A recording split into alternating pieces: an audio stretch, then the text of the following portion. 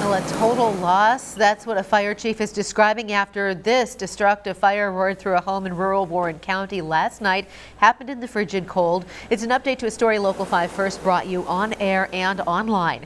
Crews were called to this home in the 9100 block of Depot in Spring Hill. Norwalk's fire chief said the homeowner refused medical treatment and is expected to be okay. He told us the weather was a big obstacle in fighting the fire.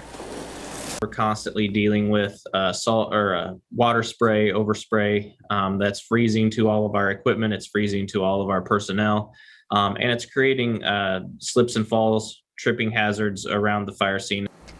Coburn said the fire is under investigation, but first responders said they don't believe it was suspicious.